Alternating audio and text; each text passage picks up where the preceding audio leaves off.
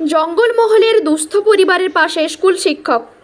আবারও মানবিক মুখ নিয়ে বিপন্ন মানুষের পাশে দাঁড়ালেন ঝাড়গ্রাম জেলার গোপীবল্লভপুরের নয়াবসান জনকল্যাণ বিদ্যাপীঠে কর্মরত শিক্ষক হেরম্বনাথ চক্রবর্তী।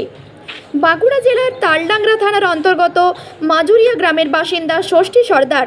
স্বামী, স্ত্রী এবং চার কন্যা নিয়ে পরিবারের সদস্য সংখ্যা ছয়। একমাত্র মেজো মেয়ে। সর্বরী সর্দার সুস্থ ও স্বাভাবিক। সে স্থানীয় একটি বিদ্যালয়ে দশম শ্রেণীতে পড়াশোনা করে। শম্পা শিউলি এবং অপর্ণা নামে বাকি তিন কন্যাই শারীরিক এবং মানসিক প্রতিবন্ধী। জন্ম থেকেই তারা এই বিরল রোগের শিকার। মাঝে মাঝে আপন মনেই তারা হাত পা নেড়ে চলে। কিন্তু মুখে মাছি বসলে সরিয়ে দেওয়ার মতো সেই ক্ষমতাও তাদের নেই। জন্মের পর থেকে এভাবেই এই প্রতিবন্ধী মেয়েদের দিন কেটে যাচ্ছে। দিনমজুরির উপর ভিত্তি করে দরিদ্র সীমার নিচে বসবাসকারী এই পরিবারটির জীবনযাত্রা অতিবাহিত হয়। বর্তমানে করোনা উদ্ভূত পরিস্থিতিতে তারা কর্মহীন। বর্তমানে তারা কঠিন বাস্তবের সম্মুখীন।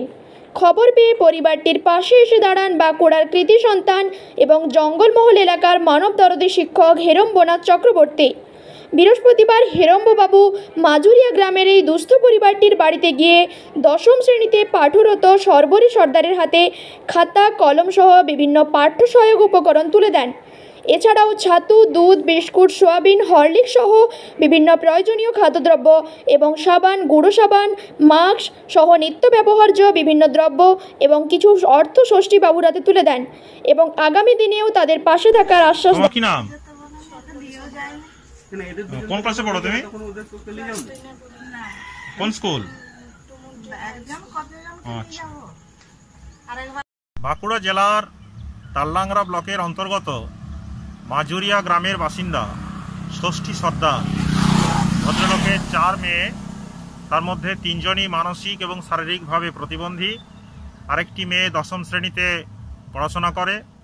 তো আজকে ওই দশম শ্রেণীতে পাঠরতা ওই ছাত্রীটির হাতে খাতা কলম সহ বিভিন্ন শিক্ষা সহায়ক উপকরণ এবং ষষ্ঠীবাবুর হাতে নিত্য প্রয়োজনীয় দ্রব্য থেকে শুরু করে নগদ কিছু অর্থ আজ তুলে